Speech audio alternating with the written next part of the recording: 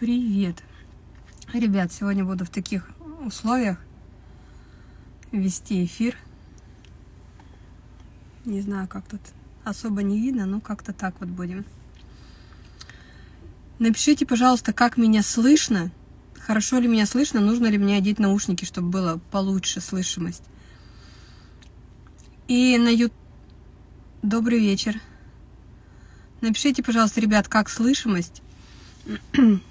И у меня Ютуба сегодня не будет. А если кто-то сможет с Ютуба писать сюда, слышно, все отлично, вопросы, то я бы, конечно, здесь бы тоже поотвечала на вопросы. Ребят, еще раз хочу сказать, что я не знаю, не вижу, включился у меня вообще эфир или нет. Ой, привет.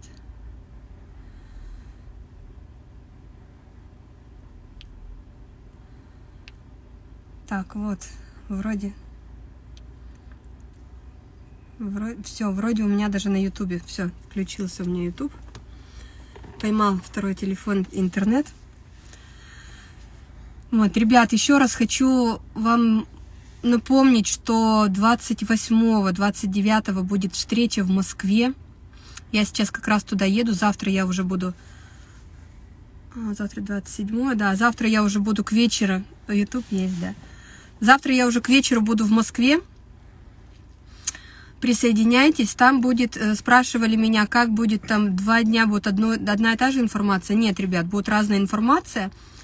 В первый день я расскажу про, э, про автономию, про наше физическое белковое тело. А второй день мы поговорим про вечность. Что такое вечность, что такое время, как его запустить, как с этим работать, вообще нужна ли нам эта вечность, или ну ее нафиг. Вот, обо всем об этом мы с вами поговорим в, в Москве. А, потом я поеду на слет, слет автономов в Подмосковье. С 30 на 31 я там буду. вот, тоже присоединяйтесь. И мы уже назначили дату 12-13 ноября, 12-13 октября будет в Питере встреча. Точно так же два дня. Вот. А, если кого-то интересует, пишите в личку, я дам контакты Кристины, она тоже будет организовывать там встречу. Вот. И слышно, все здорово. Владислав, спасибо. А, и будет классно. Чем больше будет народу, тем меньше у нас будет сумма. Там будет сумма буквально там, чтобы на дорогу хватило, и там оплатить зал, оплатить э, организационные вот эти вот все расходы, э, рекламу, то есть это не как ретрит, э, он будет как бы совсем минимальная цена, только чтобы вот эти вот расходы все покрыть. Вот, поэтому присоединяйтесь, ребят, в Питер, в Москву, жду вас. Да, звук мне пишут хороший, все классно.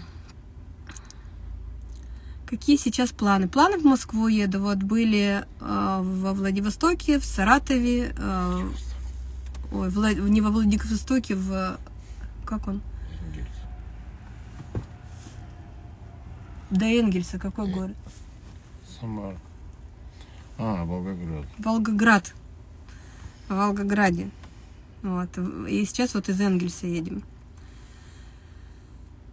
Так, сегодня тему я хотела э, такую поднять.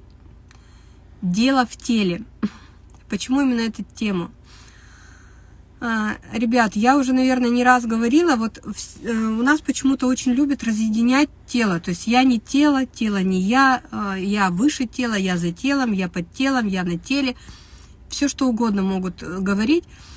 Но чем больше вы идете в разъединение с телом, тем дольше э, вы уходите от самого себя.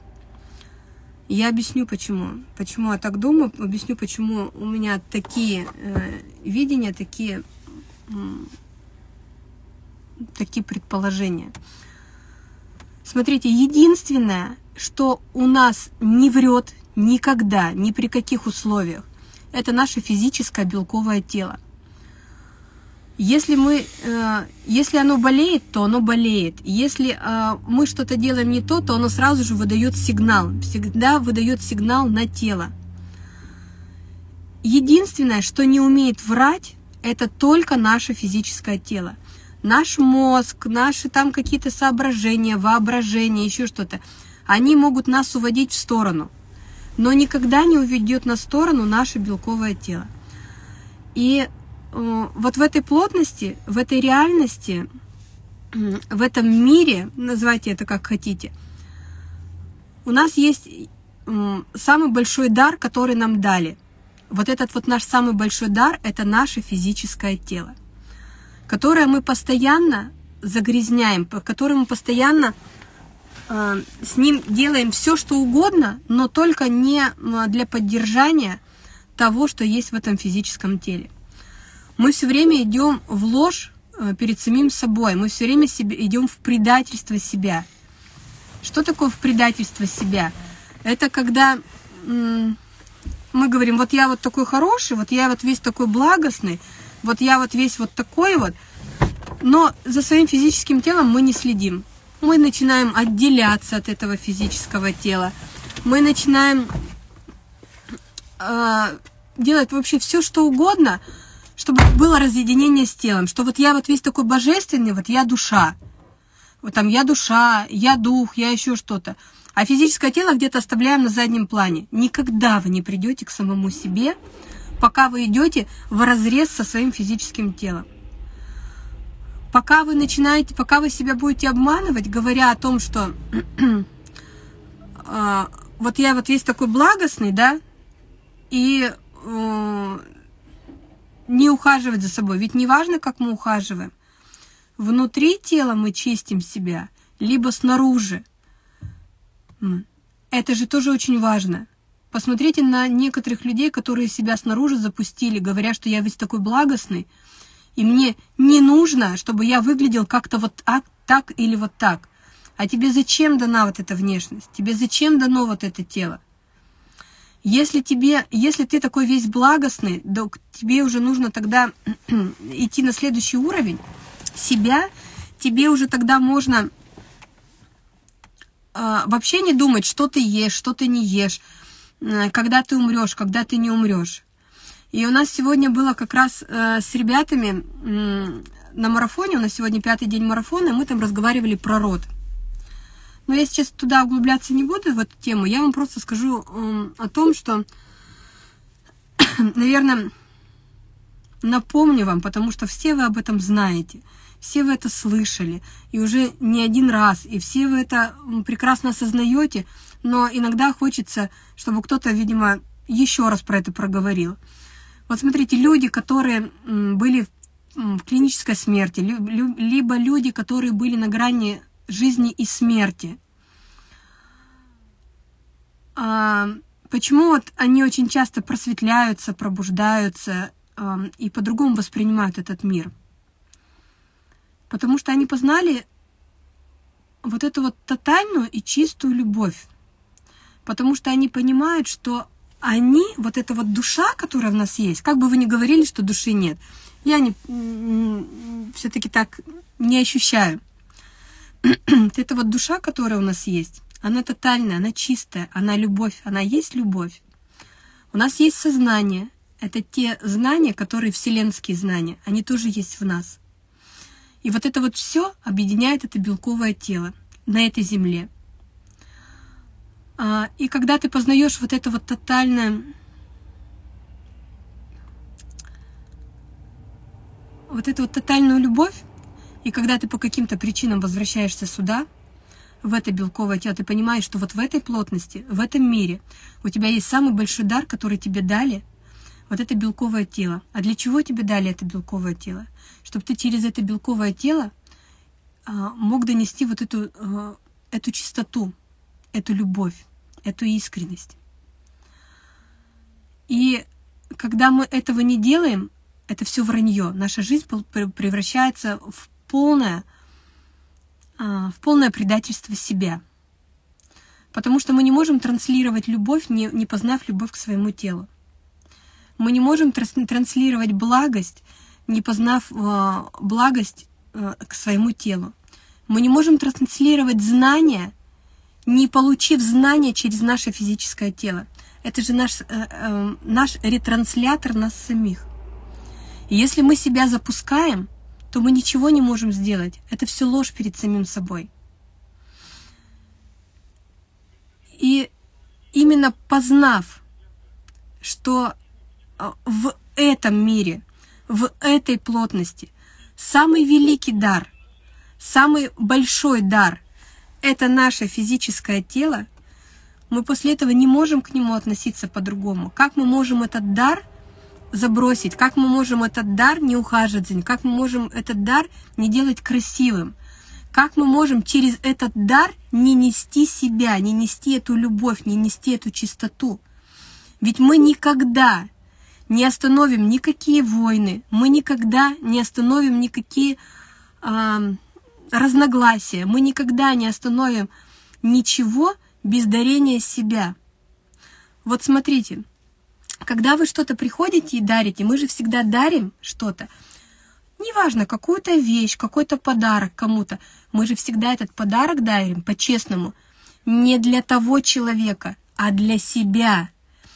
И чем круче, да, так скажем, у нас подарок, чем круче... Блять. Чем круче у нас подарок для кого-то, тем клевее мы же себя ощущаем. Мы тогда начинаем, видя эти эмоции другого человека, мы испытываем вдвойне больше, вдвойне больше вот этих эмоций у, сами, у самого себя. И когда мы начинаем испытывать эти эмоции у самого себя, мы э, с огромным удовольствием же это делаем. И то же самое, когда мы говорим про дарение себя. Когда мы начинаем себя дарить, свою любовь дарить через себя, через это белковое тело, нам хорошо от того, что мы дарим себя. И смотрите, когда мы что-то дарим, мы можем потом подойти через какое-то время и сказать человеку, «Э, отдай мне то, что я тебе подарил».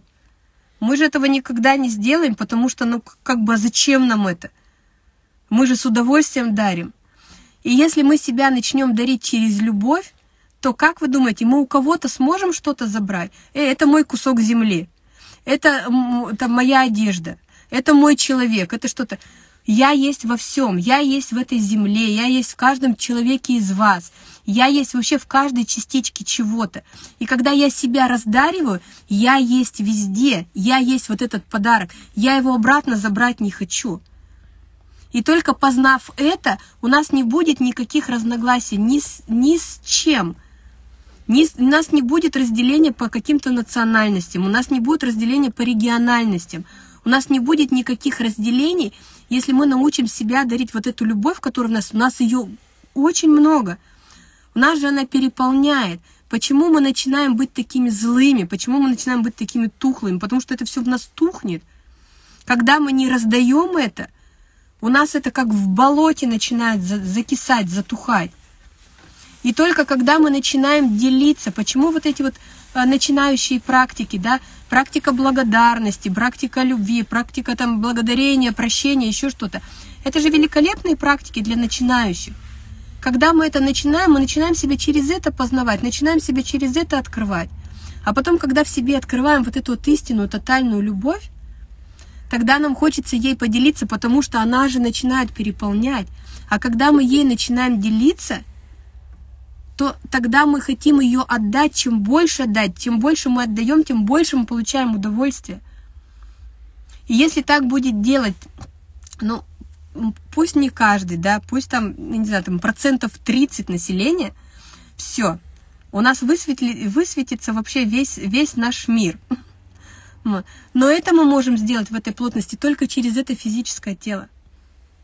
Как мы можем отделить, что я не те? Да, я, я не рука, я не нога, но рука это мое, и нога это мое.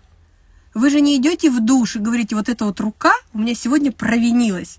Вот я весь помоюсь, а ты будешь за душевой кабиной там стоять, немытая. Мы же этого никогда не сделаем, то есть нам даже в голову этого не придет. Что за бред такой? Да как мы можем отделить себя? То есть у нас есть душа, дух и тело. И вообще у нас есть, я бы сказала даже так, у нас есть душа наша, душа, вот эта вот искренность.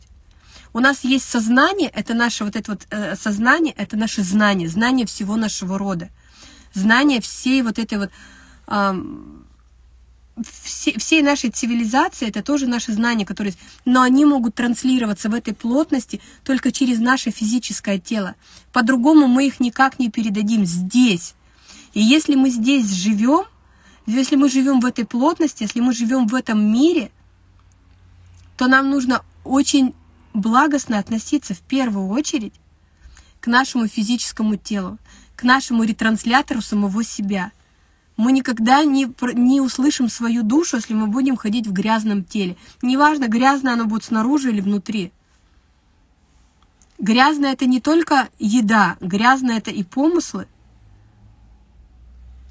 Потому что смотрите, как а, у нас же с чего идет у нас идет э, непринятие себя, непринятие того, что вот я вот это вот вроде бы, вроде бы я себя полюбил, вроде бы вот все, но, например, там убийц мы осуждаем, педофилов мы осуждаем, проституток мы осуждаем.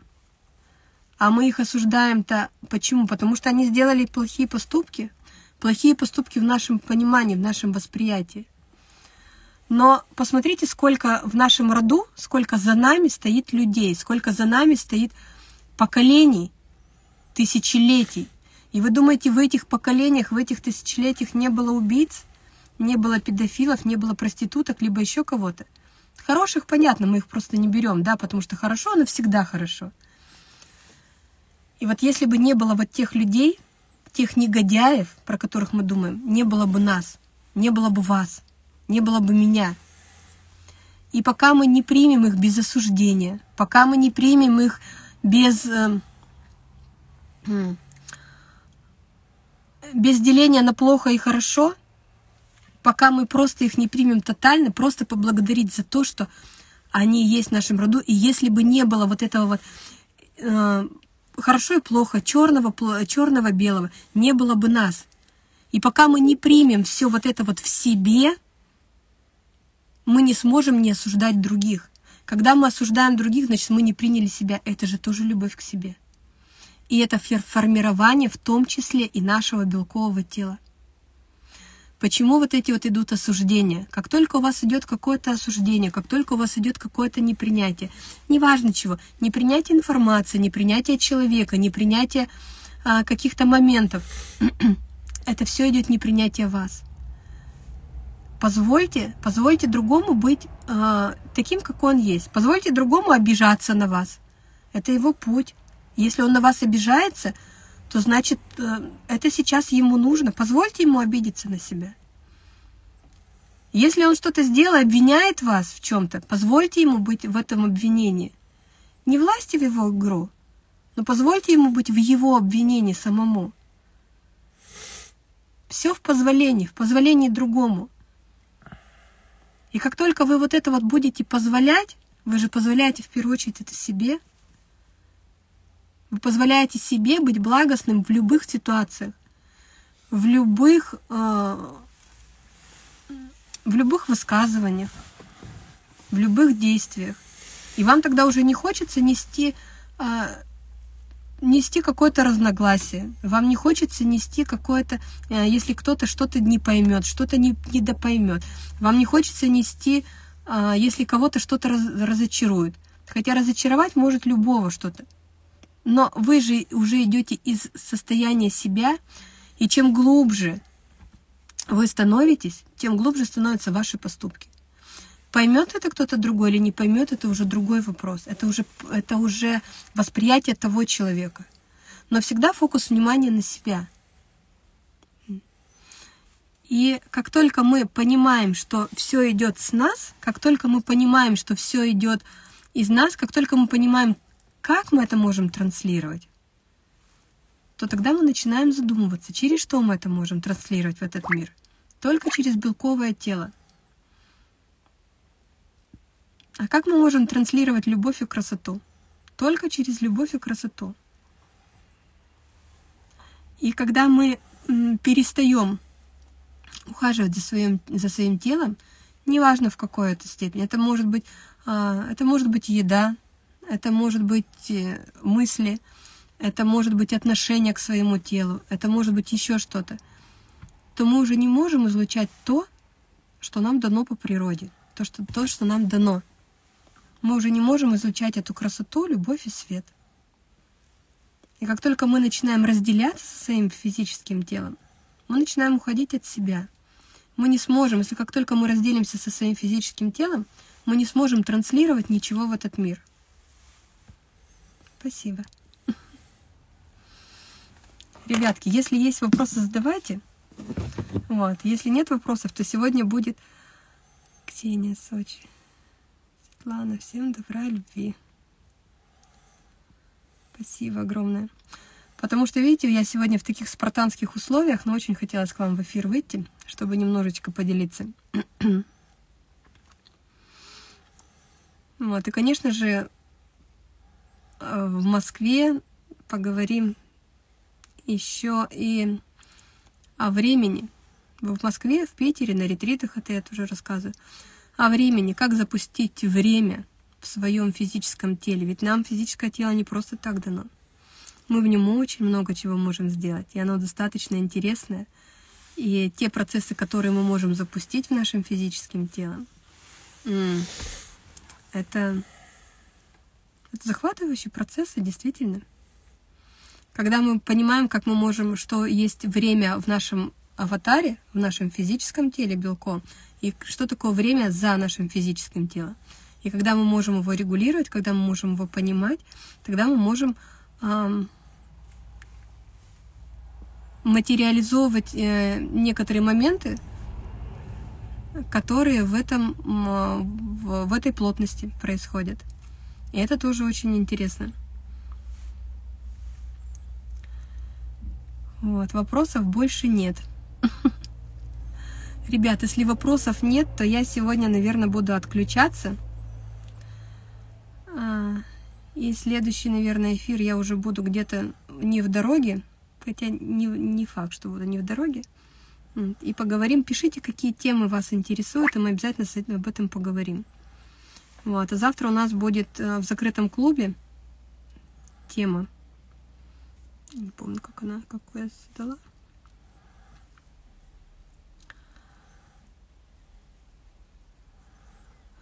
Вот, у нас будет э, тема «Смерть из любви». Но в открытом эфире я бы не очень хотела об этом говорить, потому что не все поймут это. Она такая достаточно достаточно жестковатая, да, будет эта тема. Вот, поэтому, если кому-то интересно, присоединяйтесь в закрытый клуб. Вот. Ребят, если нет вопросов, то буду тогда отключаться.